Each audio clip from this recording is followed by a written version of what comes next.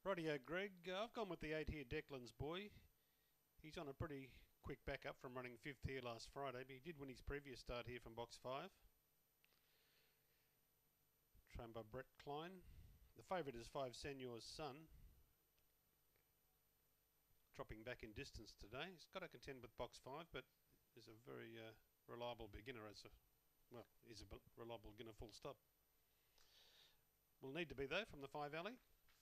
Fancied runners in the quaddy so far. Three Ranger Danger, one Maury Spirit, and one Magic on it. Here we go. Last leg, green light.